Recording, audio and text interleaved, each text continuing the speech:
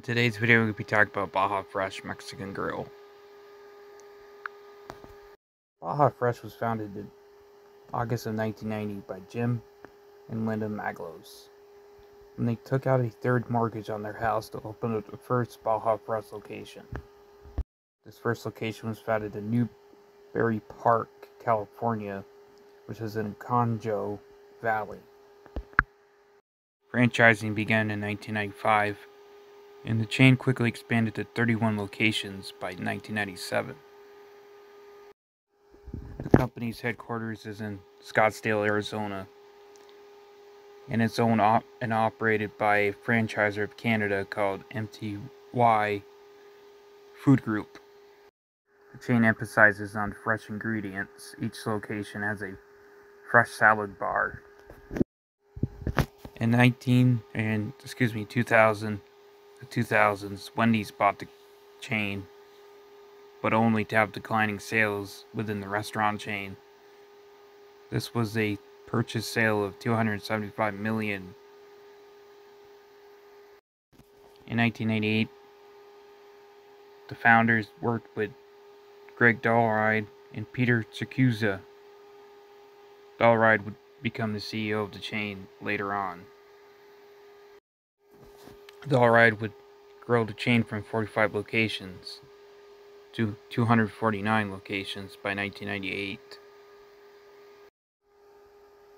By the early 2000s, Wendy sold the chain to BF Holdings Company for $31 million. The company had around roughly 300 locations at the time Wendy's sold the chain.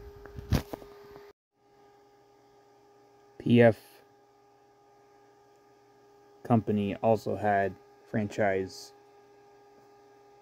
store or restaurants including Denny's, Cinnabon, and others. By the acquisition of BF Holdings LLC, the chain had 144 company owned locations as well as 154 franchise locations. These are mostly located within the west and west coast areas of the United States. But the chain would grow to New York, New Jersey, and other East Coast states by that time as well. David Kim would take over as the new CEO of the chain around that time. He also would take a part of the undercover boss as well.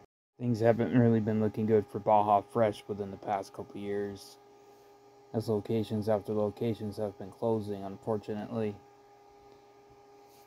They still have many locations that are franchised, but locations after locations have closed. They currently have 162 locations in the United States, United Arab Emirates, as well as Singapore. Thanks for watching this video on the history of Baja Fresh Mexican Grill. Stay tuned for more videos tomorrow. Thanks for watching.